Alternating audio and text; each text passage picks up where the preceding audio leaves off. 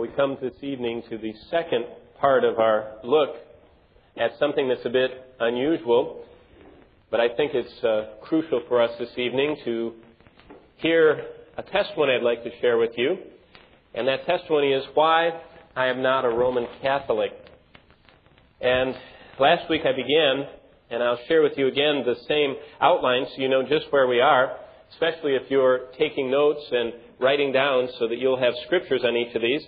I was challenged this morning after the second service. Uh, someone came up to me and said, It's really wonderful to know everything that the Bible says uh, is wrong about that, but how do you get in to the family of God? If you don't get in uh, through the Mass, through the sacraments, how do you get in? And I said, Well, tonight I will make a point to conclude uh, this evening message with uh, actually taking you through. If I was going to lead one of you, in fact, if one of you came forward at the end of the service and said, I want to know how to become a Christian, I'll just share with you one of the uh, many different portions of Scripture that I would use and that many here would use to lead you to the Lord Jesus Christ. But there are seven biblical reasons why I cannot associate with, promote, recommend, or even consider as being a part of the Christian faith, the Roman Catholic Church. Seven reasons. Now, even after I preached last Sunday, I had someone come up to me and say, I don't have those uh, concerns you do.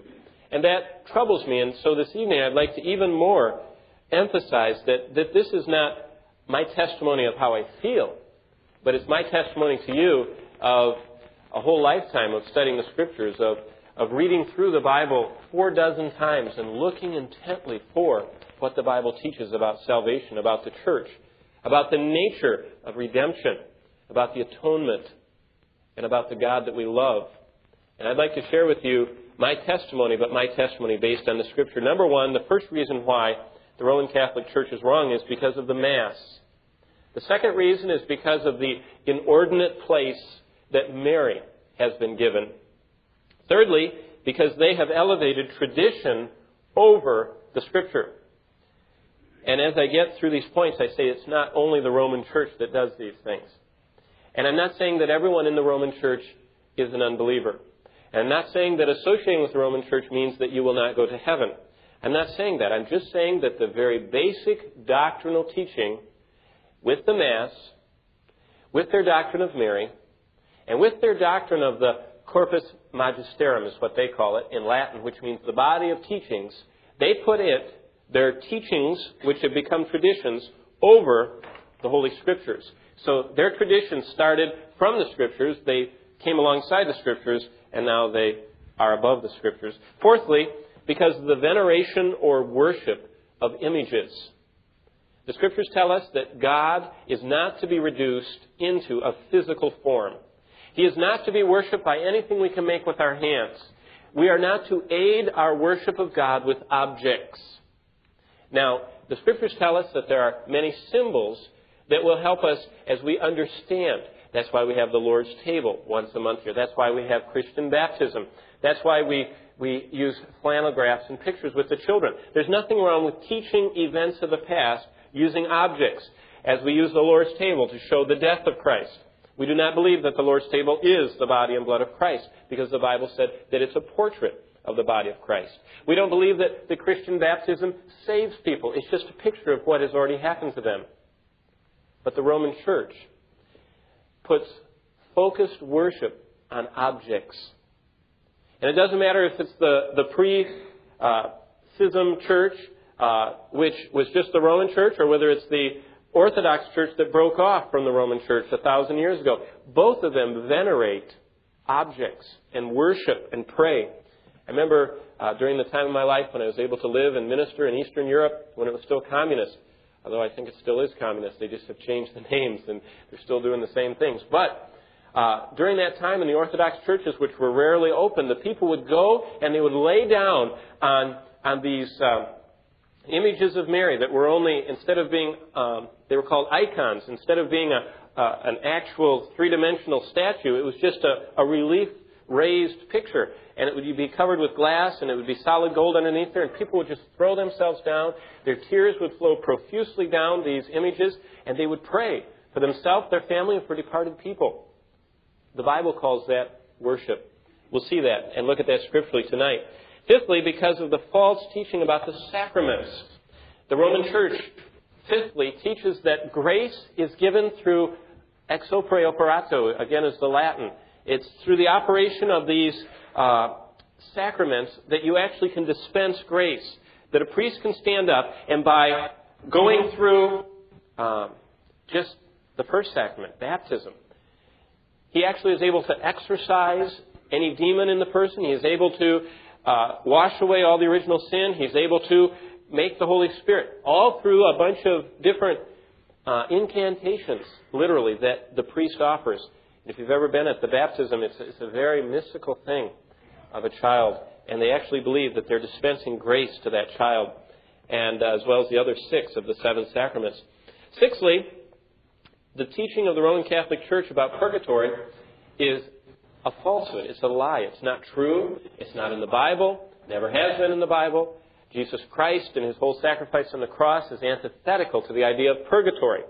Uh, the idea that, that Jesus Christ could die on the cross, but you still have to suffer for your sins in this hell with a back door that you can get out after you've burned enough, is totally contrary to all the teaching prophetically of Christ's sacrifice and then of the New Testament apostles and prophets looking back at the sacrifice of Christ.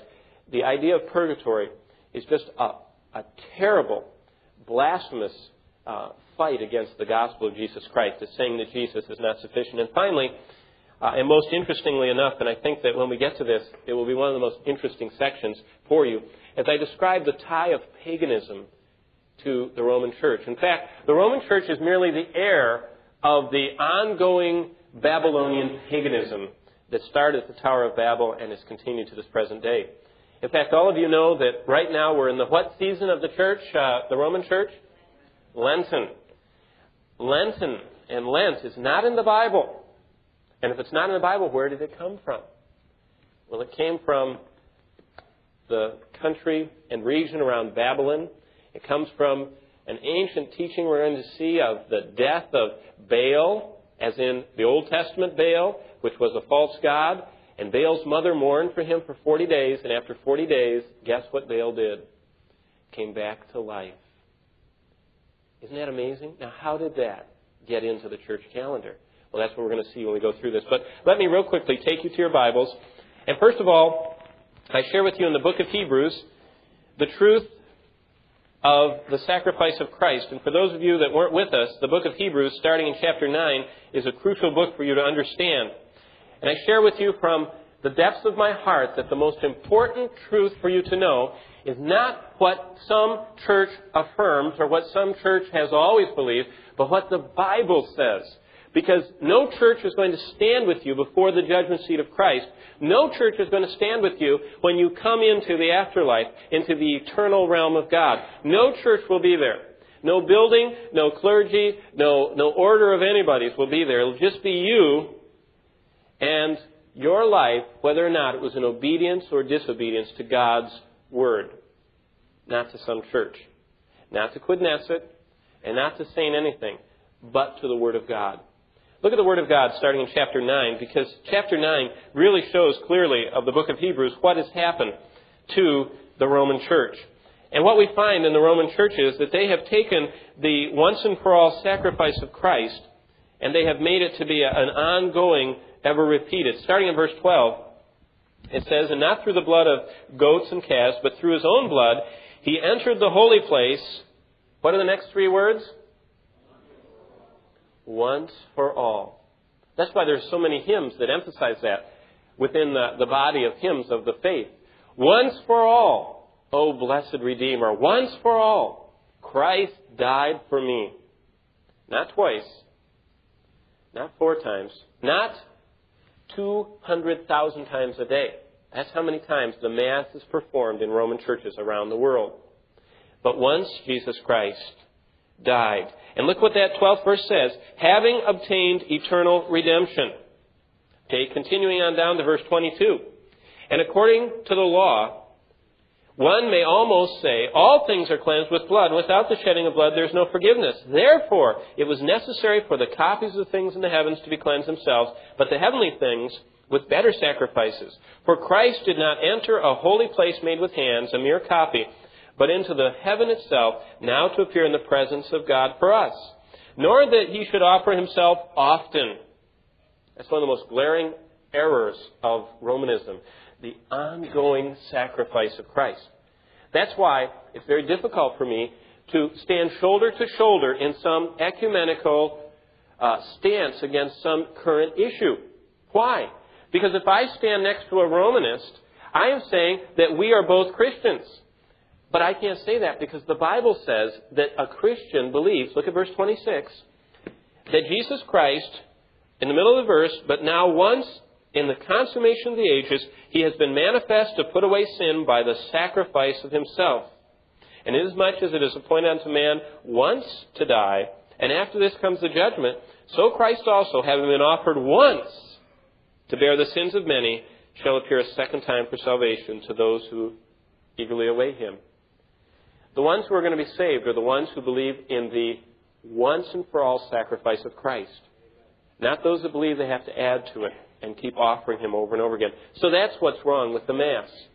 And I could share with you, and you can get the tape of last week as we went through actually the Council of Trent and looked at all that the Council of Trent, which uh, was reaffirmed by Vatican II as being the position of the Roman Church as to the work of Christ.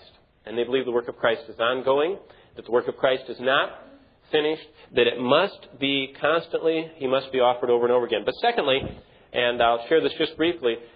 The scriptures teach us that the position of Mary in the Roman church is against the biblical teaching of our redemption.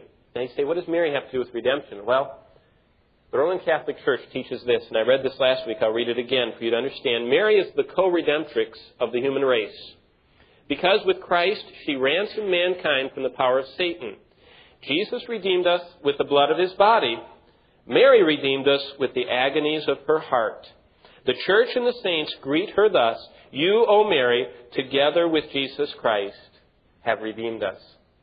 That is entirely, entirely against the Scriptures.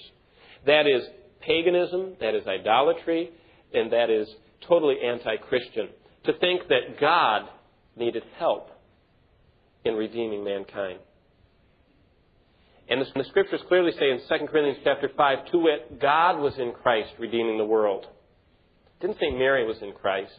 It didn't say that Christ was in Mary's heart. It says God was looking out through the eyes of Christ at the world, and as Christ hung in his own body bearing our sins on the cross, that God was satisfied with the debt that we owed him.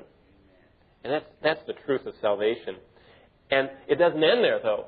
Because it was a once and for all sacrifice, Christ was taken down from the cross. And now we serve a risen Savior who, look at chapter 7, what he's doing. Chapter 7 of the book of Hebrews, in verse 25.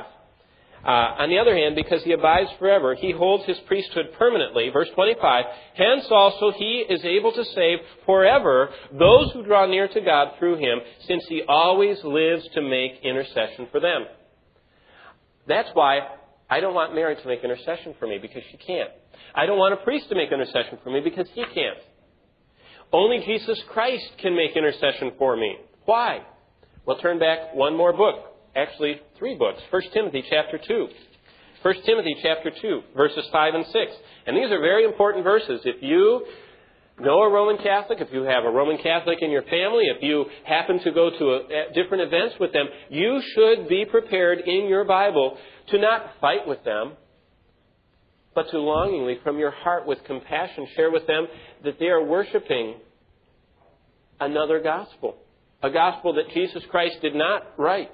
A gospel that Jesus Christ did not author. It's a gospel that has seeped in. And by the way, until the year 14 and the mid 60s of, of the 1400s, it really was not at a head yet. And it wasn't until 15 after uh, the 1500s, after Martin Luther, that the Roman Church came down hard and said, okay, we won't have any more of these Martin Luthers and John Calvins and Ulrich Zwingli's and John Huss's and, and uh, Wycliffe's, boom, we believe this. And that's why before the 16th century, yes, probably a great number of the people in the Roman Church were born again Christians. Most of those Romanists that, that we uh, look at in past years were probably Catholic and not Roman because they didn't believe in the Mass. The Mass was not even introduced until 13 centuries after Christ. That's why the Roman church of today is not the church that Jesus Christ started. Nor was it the church that Peter and Paul and John and James were apostles in. It is a false church that has evolved because they denied 1 Timothy chapter 2 verses 5 and 6. It says in 1 Timothy 2, 5 and 6 that there is one God, there aren't three gods, and there aren't four. Mary hasn't joined the Trinity. There's one God in three persons Father, Son, and Spirit. God the Father, God the Son, and God the Holy Spirit. Don't let the Muslims or Jews make you look bad and say you, you worship three gods. We worship one God in three persons. They are co-substantial. They are of the same essence. They are distinct individual persons. But there's one God, and listen, verse 5 continues, and one mediator also between God and us. Between God and mankind, between God and men, as Paul says. And who's that? The man Christ Jesus. And it says here, who gave himself as a ransom for all, the testimony born at the proper time. Jesus Christ is the once and for all ransom. And the perverted teachings of paganism that have come into the church, as I shared last week, that Mary can give special protection, that Mary can give you armor against hell. And I'm reading from a, a rosary card uh, with the imprimatur of Patrick Hayes, Archbishop of New York. That Mary can sanctify you, that Mary can keep you from perishing eternally, that Mary can make you worthy of eternal life, that Mary can deliver you from purgatory. There isn't even a purgatory to be delivered from. That she can give you a high degree in heaven and can obtain uh, for you all that you ask by faith, and she can give you a sign of predestination, is all false. And the veneration of Mary is the second reason why the Roman Catholic Church is wrong. Catholicism Christology is heretical. It denies Christ's exclusive role as mediator. It denies the exclusivity of his redemptive work, making Mary a co redemptrix with him. And finally, it denies the sufficiency of Jesus Christ's death on the cross for us. I want you to look for just a minute in Mark chapter 3, because some of you might not know um, how much the Bible does say about Mary. Mark's Gospel, chapter 3. Because Jesus Christ plainly taught that Mary was on the same plane with all other Christians who would do the will of God. Now, don't listen to some father of the church. Don't listen to tradition. Don't listen to something that's been passed on for centuries and has changed all along the way. Listen to what the Lord Jesus Christ said in Mark chapter 3 in verse 31. Because he put Mary on the same level ground as you and me and every other saint throughout history that wants to do the will of God. During her whole earthly life, Mary was just a normal human being that needed to be saved. She evidenced unbelief at times in her life. She evidenced a sinful desire to promote her son. There's no doubt that Mary was as human as you and I are and a sinner. And Jesus Christ had to confront her on various occasions. And here's one of them. In verse 31 of Mark 3 And his mother and brothers arrived. Now, isn't that interesting? Jesus Christ had brothers. We know that he had four. They're named. He also had sisters, so he had at least two. So that means Joseph and Mary had seven children. Joseph had never been married before. Mary had never been married before. Jesus was Mary's first born child, but not Joseph's. He had nothing to do with that child coming into the world. But Mary had at least six other children. And it says that she's standing outside with her kids. And they arrived, and they were standing outside, and they sent word to him and called him as if he should, you know, come whenever she calls. And you know what? For people that are counting on Mary to, to influence God the Father, they should really read this because when Mary told Jesus, uh, Could you come on out here? I want to talk to you. Look what he responds. and the multitude was sitting around him. And they said to him, Behold, your mother, your brothers, they're outside looking for you. And he answered them and said, Who are my mother and my brothers? That's a very important question to be answered. Verse 34. And looking about those who were sitting around him, he said, Behold, my mother and my brothers. Can you just see him going like this? Behold, my mother and my brothers. And he says, For whoever does the will of God, he is my brother and sister and mother. That means there are many mothers of Christ. There are mothers of the faith. There are godly women. There are many brothers and sisters in Christ. There's no one mother of God.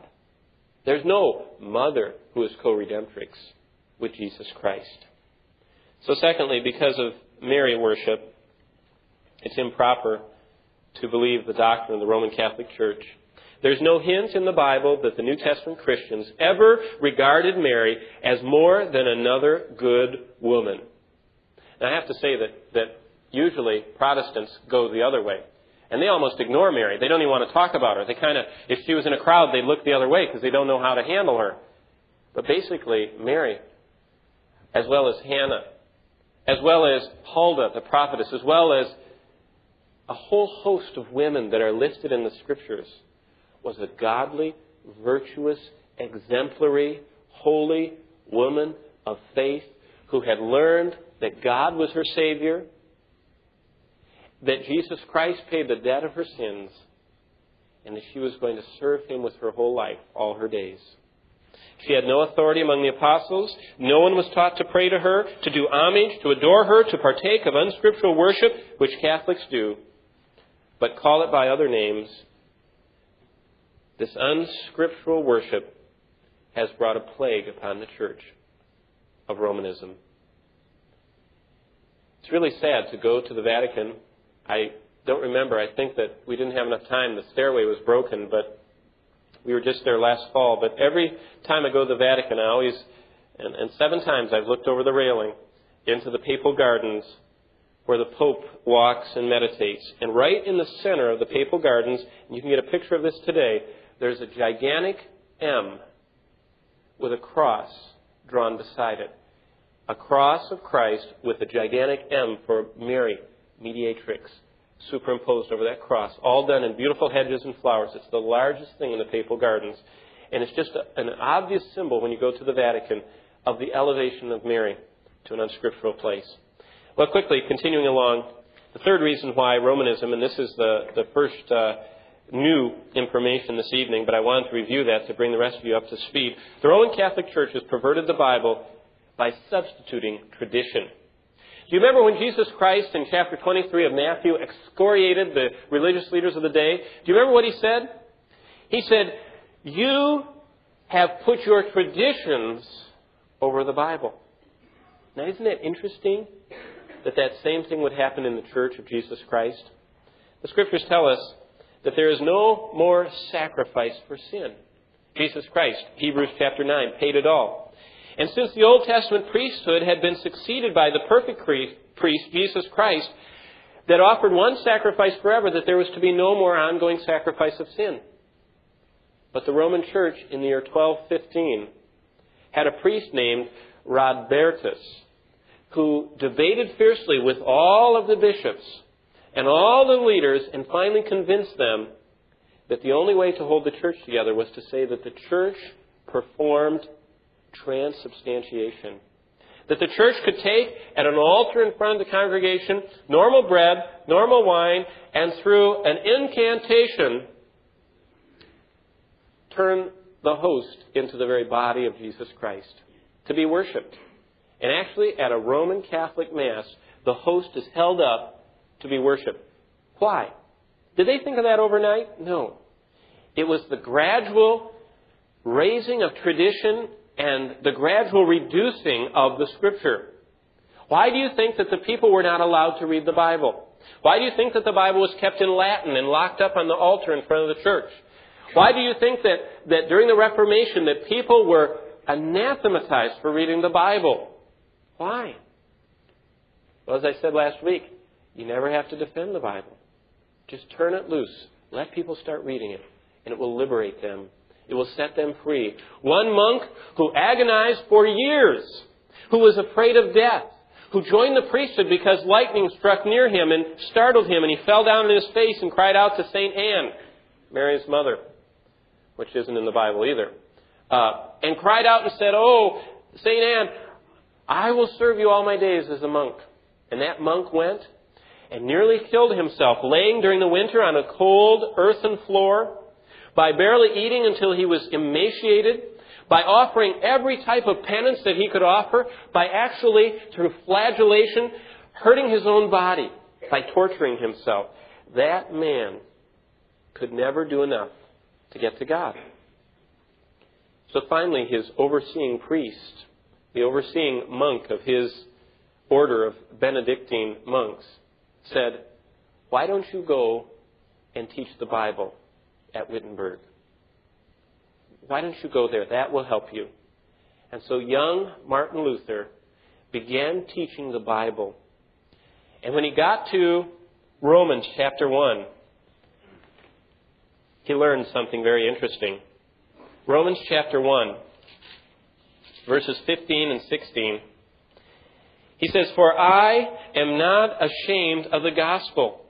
For it is the power of God for salvation to everyone who believes, to the Jew first, and also to the Greek. For in it the righteousness of God is revealed from faith to faith, as it is written. And here's the most often repeated Old Testament quote in the New Testament. Here it is. For the righteous man, or the just man, shall live by faith. And that monk who had done everything humanly possible to please God, who would come before the people trembling to offer the Mass because he was told he was actually making the body and blood of Christ, and that man who would hold that up with trembling hands and, and merely in trepidation, afraid that God would strike him down with lightning, that man one day standing in front of a congregation of people in a college town Roman Catholic church preached on this text. And all of a sudden, his eyes were opened, and he said, The righteous man will live by faith. He said, I didn't need to climb Pilate's 33 steps on my knees. I didn't need to make pilgrimages and walk barefooted over the passes of the Alpine mountains to get to Rome. I didn't need to beat my body with a whip. By faith, I can be acceptable to God. And that started the Reformation. And what that man did was he took some normal pieces of paper and in the Latin language wrote down 95 questions he had that he wanted to discuss in a public debate with churchmen. And they're called theses. And he didn't challenge the church. He just said, let's talk about this. He says, I just found some stuff in the Bible that you might not know about. You know what the church said? We don't want you teaching the Bible. We don't want you teaching those people to read the Bible. We don't want you telling those people they have to come by faith. Leo X said, I have a basilica, St. Peter's, to build in Rome. It's going to be the largest church in the world. It's going to cost more than any other church in the world. And I want the people to offer their indulgences to fund my church. And thus, with a crack of Martin Luther's back, he couldn't take it anymore. He said that, that was one straw too many. And he started going against the tradition of the church. Well, it's not just the tradition of the Mass. Another tradition, I want you to turn to 1 Peter chapter 2. 1 Peter 2, and if you can't find it, write it down. You can find it later. But I want you to realize that there's a false tradition in Romanism that the Old Testament priesthood has continued on with a select group of people that are priests. And that select group of men that are priests are going to confer grace through the offering of the sacraments. You know what the Bible says? That Jesus Christ did something. He abolished the old. Now, there's a continuity between the old and new covenant. It isn't an abrupt like that. You know, the old was bad and we got rid of it and the new started. There's a real continuity there because the old points to Christ. It's beautiful. And that's why we have to watch out for a lot of the dispensational teaching that says that like I was just in a course recently where someone asked a professor, they said, well, what about this verse in Matthew? And the professor said in the class, he said, no, no, that's, uh, that's Old Testament. I went, Old Testament? Old Testament? That's Jesus Christ talking. But you have to watch out, even in Protestantism, of cutting the Bible too finely and, and dividing it into little pieces. All Scripture is given by inspiration, and there's a very clear teaching that the old economy, every part of it pointed to the new. One of the wonderful things that, that Matthew does, Matthew, more than anybody else, is showing Judaism being fulfilled. And that's why Matthew shows the great earthquake, and he shows the tombs being opened, and he shows the, the um, resurrection of the Old Testament saints walking around and testifying of Christ after Christ's resurrection.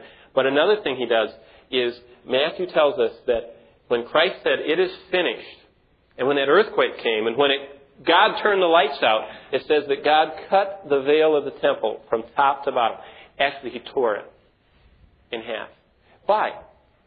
Because He said, now the way into the holiest place is open for everyone through Jesus Christ. We don't need a bunch of priests wearing little bells tinkling on the bottom of their robes with pomegranates intermingled with them, walking in like this with a rope tied to their foot in case they did something wrong and God killed them on the spot and they'd have to be pulled back out because they had profaned God. We don't need anymore for them to be going through all this rigmarole of, of doing rituals of slitting throats and catching blood and slaying animals and putting them on the altar and piling them the right way and dumping the blood in a certain spot. We don't need that anymore. Why? Because, look at verse 9. Now God has called us a chosen race, a royal priesthood, a holy nation. Now it should really rejoice your heart that in the Old Testament, women could not approach God directly. They had to come through a priest. Do you know what the scriptures tell us in the New Testament? That men and women and boys and girls can come intimately into the very presence of the Holy God because you are a priest and Jesus Christ has opened the way. Jesus Christ has said, all of us are priests. Not just people that wear backward collars. Not just people that, that say that they're going to be celibate for life and marry the church, but to all who will marry Jesus Christ, who will embrace him, who will be engaged to him, who will be his bride. That's us. You, tonight, by faith, can be a priest of God. And you can come into his presence, and you can come knowing that you can call him not distant, eternal inhabitor of, of heaven, but Father, because He's opened the way for you. And Roman tradition robs the saints of their standing. Look at uh, Revelation chapter 5. We haven't seen this for a few weeks. By the way, we're still in our Revelation series. This is going to answer a lot of questions when we get to Revelation 17. Because I'll explain when we get to Revelation 17 uh, what's going on there. But chapter 5 and verse 10, one of the things that born again Christians are going to rejoice about throughout all eternity, and all of eternity is going to be looking back on what God did through Christ on Calvary. And we're going to be looking back and we're going to go, wow, oh, the wonder of it all. It's just so wonderful. And here's one of the songs we're going to sing, a new song, Revelation 5:10. And thou hast made them to be a kingdom and priests to our God, and they will reign on the earth. Do you realize that? One of your joys of heaven is going to be rejoicing in the fact that you're a priest of God. That's part of what we're going to do forever. That's why it says, I beseech you, therefore, brethren, by the mercies of God, that you give yourself in a spiritual act of worship to God. That's the consecration of us. Totally dedicating ourselves so we can be priests in holiness before Him. Well, I don't have time tonight to talk about all the strange and unscriptural doctrines of the Roman Church, but basically this. If you cannot, in a plain, simple reading of the Bible, ferret out something you've heard about, it most likely isn't there. Romanism has the most convoluted way of proving their point. Purgatory, when we get to there, comes from an apocryphal book that no one has ever believed is a part of the Bible, has one obscure phrase about pagans praying for the dead, and from that one text in 2 Maccabees 12, about verse 23, they have developed the entire doctrine of purgatory. It's not in the Bible. But there are many things that aren't in the Bible that the church teaches, the Roman church. In the Bible, there was no pope. There's no papal authority. There's no papal infallibility. There are no prayers to Mary. There's no doctrine of Mary's Immaculate Conception, nor of her body's ascension to heaven. There is no penance, there are no indulgences, there is no confession to priests, there are no orders of monks, there are no nuns. All of this has been manufactured by the gradual seeping in of paganism. Just like Lent, just like the church calendar, you know, there's something to be aware of. And that is, God said in the church, don't put any day higher than another day. There aren't holy days. This is a day that we've all collectively agreed upon to worship God. But this day is not higher than another day. We're not Sabbatarians. We do not believe that you're in sin if you do any work on Sunday. The Bible says in Colossians chapter 2 that we're not to regard new moons and Sabbaths and holy days. And that's why we're not supposed to have a church calendar, and we don't need a bishop to say over the radio that, that you will not sin if you don't go to Mass this weekend because it's Lent. Because we're not bound by some law. We're bound by the cords of love to Jesus Christ. So the third reason, briefly stated, that I believe that the Scriptures tell us that the Roman Catholic Church is wrong is because of the the unsubstantiated, unbiblical, adhered to doctrines of tradition that the Roman Church has manufactured over the last 1500 years. Well, fourthly, the Bible plainly forbids making any image for worship and bowing down to any image. I'd like to read to you Exodus 20 and verse 4. And I'll tell you what, if something bothered God 1400 years before Christ, I have a strong feeling it still bothers him. And if God would go to the extent of saying that anyone who makes an image and bows down to it is to be stoned to death, and the image burned. And if people actually were killed for worshiping images, I don't think God has changed at all. I want to read to you from the Ten Commandments in chapter 20 of Exodus, verses 4 and 5. Thou shalt not make unto thee any graven image, or any likeness of anything that is in heaven above, or that is on the earth beneath, or that is in the water under the earth. Thou shalt not bow down thyself to them, nor serve them, for I, the Lord thy God, am a jealous God. Did you know God is jealous? Jealousy is good. Did you know that there are nine human emotions that the psychiatrists and psychologists have identified that humans have? And did you know that God in the scriptures has eight of them? You know the only one that he doesn't have? Fear. That's something that God has no concept of, and we should not either. But God is jealous. Why? Because God wants intimacy with us. He doesn't want you. I, I mean, it would be like a fellow that has a choice between his wife or a picture of his wife, and he just oogles over the picture. The woman would take it away from him and say, What's wrong with you? I mean, if you have a choice between the real thing or, or a representation, which would you take? The real thing. Continuing in, in Exodus 20. For I, the Lord thy God, am a jealous God. I visit the iniquity of the fathers and the children to the third and fourth generation of those that hate me. And he goes on and on with the Ten Commandments. You say, aha, that's in the Old Testament. Okay, let's look in the New Testament then. Uh, let's look, first of all, at John's Gospel, chapter 4 because that's what impacts us, especially here. And that's why I am a firm, firm believer, biblically, that we are not to have any holy hardware. What's holy hardware? It's all the stuff that people need to kind of feel like they're worshiping. We should be able to all trample across the street, sit in the parking lot in the middle of it, carry our chairs with us, and you should be able to feel as worshipful as you feel in here. We ought to be able to go, as we do for sunrise service, to Gordon Johnson's Pond in East Greenwich and stand around that, that pond and freeze and sing hymns on resurrection morn and worship God as much as is in a vaulted ceiling with stained glass windows and organ music going. Why? Because it says in John 4:24, God is spirit. And those who worship him must worship him in spirit and truth, not in holy hardware and formality, not in liturgy and all types of, of incantations and pagan rituals, in spirit and in truth.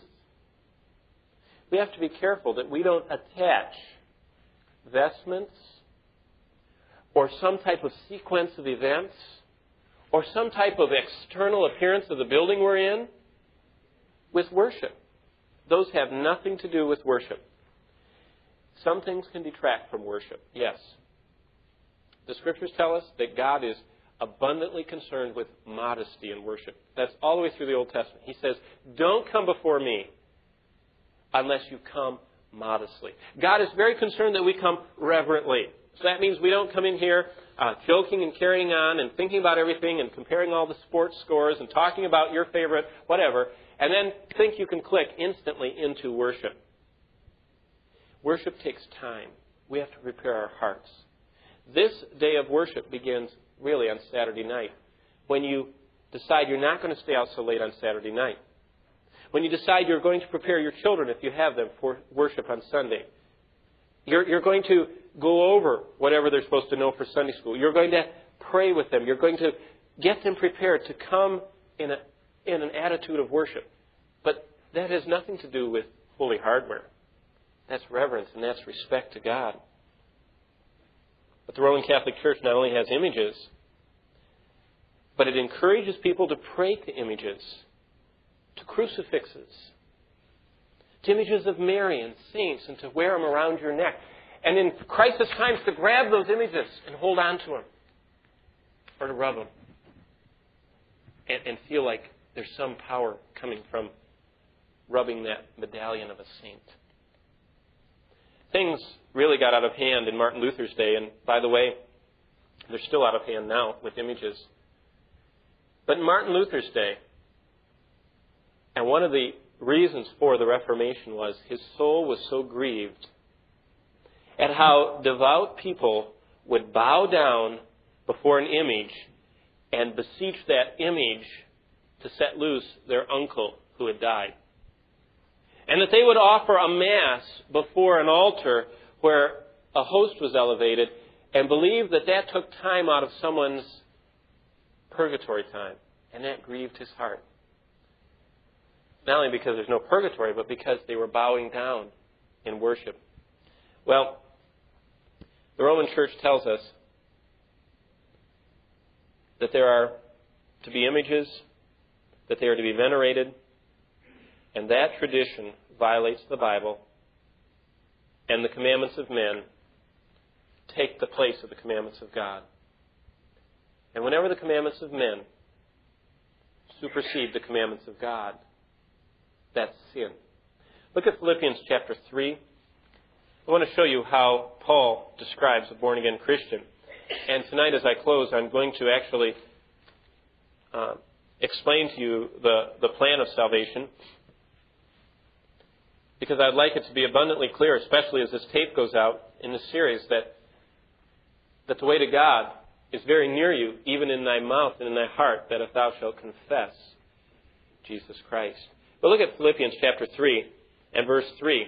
Because the Apostle Paul was constantly dealing with much of the same problem we have with Romanism today, only it was called Judaizers back then. And back then they thought you could get to heaven by having a little surgical operation called circumcision. And they thought, if I can be circumcised, God's got to accept me into heaven. It's kind of like if I join the church and come to Mass at least once a year and, and do penance and, and confess my sins and don't do too many bad things and get enough, you know, whatever, I'll get to heaven. Well, they had the same problem in the first century, and Paul was always countering that. The whole book of Galatians is about that. But look at chapter 3, verse 3 of Philippians. For we are the true circumcision. And I say to you tonight, we are the true Catholic Church. We're not the false Catholic Church. We're the true Catholic Church. You know what Catholic is? Don't ever lose the Holy Catholic Church. The Holy Catholic Church is the church that's built on the rock of Jesus Christ. It's the church built on the apostles and prophets. Jesus Christ is the chief cornerstone, and we stand shoulder to shoulder with all the saints of all times that have believed on Jesus Christ. We're the true circumcision. But what is the true circumcision? Verse 3 continues who worship in the Spirit of God. Not through the conveyance or the enablement or the help of some saints, or through a hierarchy of priests, or through some church that says outside this church there's no salvation. Extra ecclesiam nulla salus. That's the doctrine of the Roman Church. Outside the Roman Church, no one can be saved. Semper ubique et omnibus. See, I could be a priest. I know all that Latin myself. You know, I had to learn it in seminary. It means always, everywhere, and by all. Everyone has always believed the Roman Church is the only way to God. No, that's not true.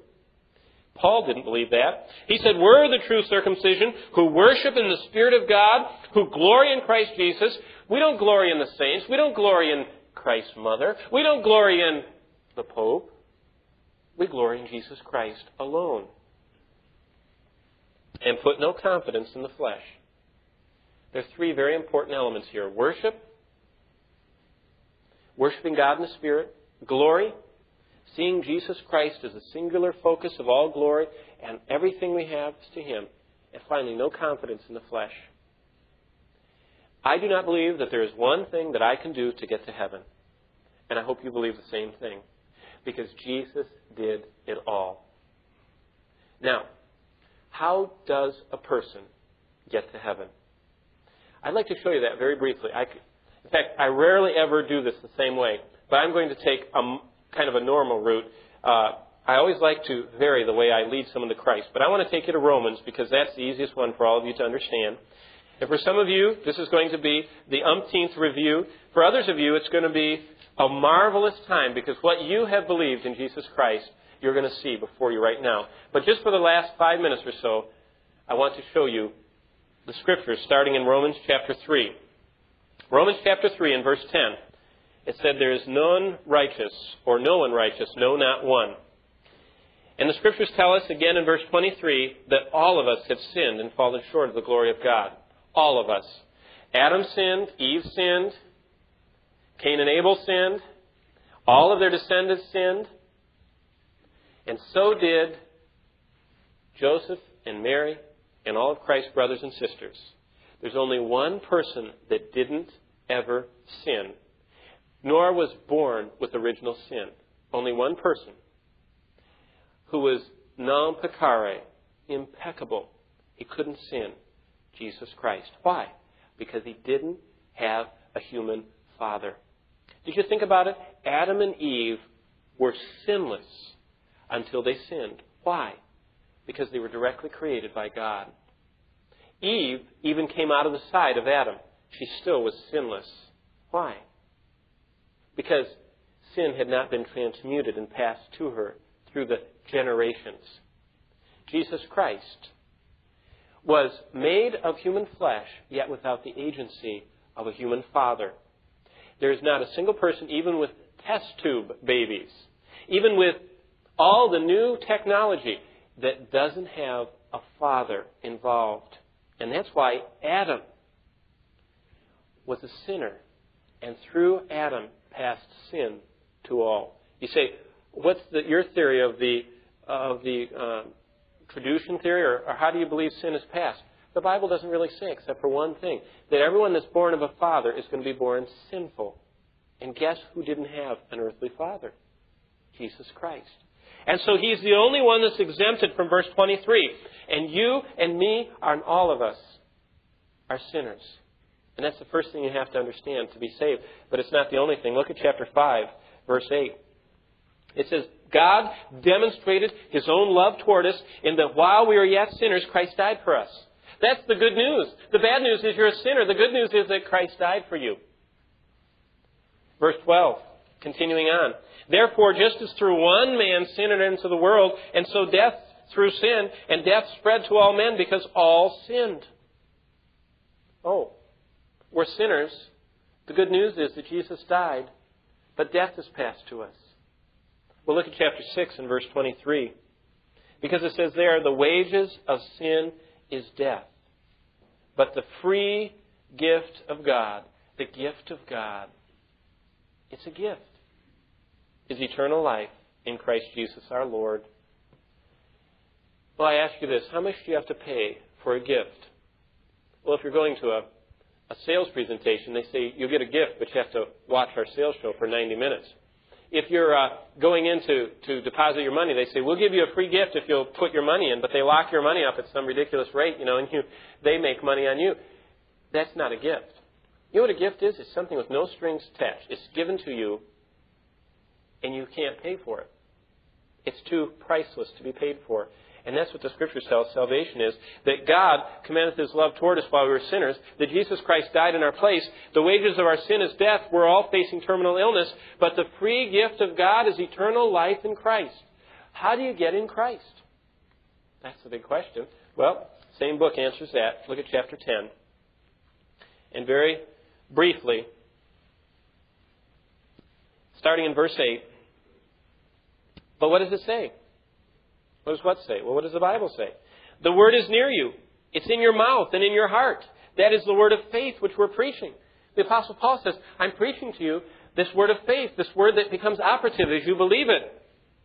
Verse 9, that if you confess with your mouth that Jesus is Lord, and if you believe in your heart that God raised him from the dead, you shall be saved.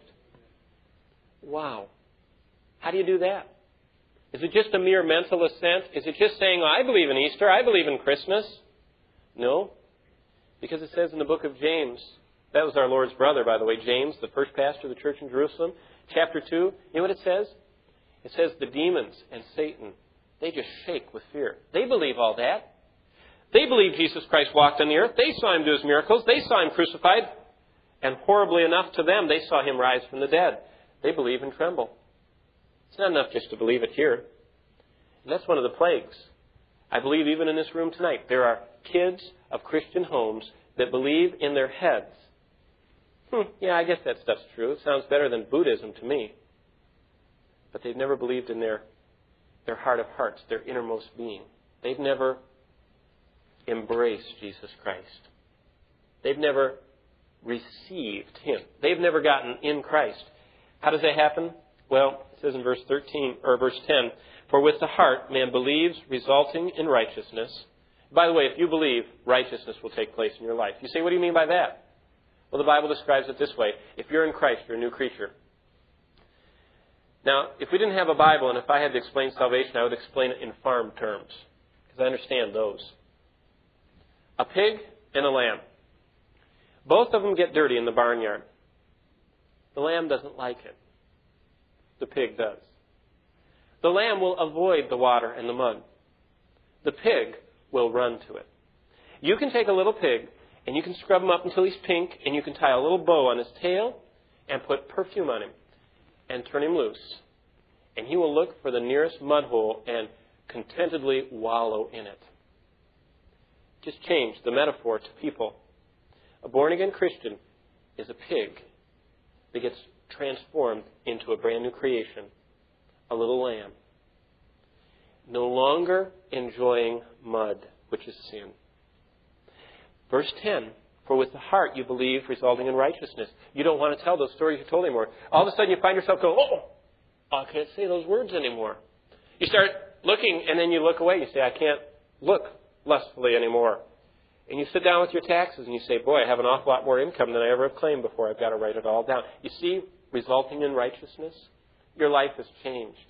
When Jesus Christ met the woman that was in adultery, you know what he, he didn't say, you can go back, now you're a Christian, go back with your adulterous relationship. He said, go and what? Sin no more.